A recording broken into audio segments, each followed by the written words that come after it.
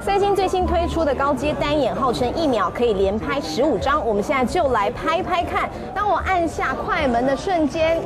都不会停下来。按住快门连拍，相机完全不会停下来。NS One 对于动作的掌握度不是盖的，采用两千八百二十万画素 APS-C 感光元件，拥有两百零五个相位对焦点，也就是说自动对焦只要五十五毫秒。当然，一口气拍了这么多张的照片，传输的速度就很重要。所以呢，这台相机也支援了在拍照的瞬间，就可以把照片随传到平板上。可更换镜头的 NS One 采用全美合金打造，要价八万五千九百九十块钱。解像力要高，就是该有的细节要有。第二个就是层次感，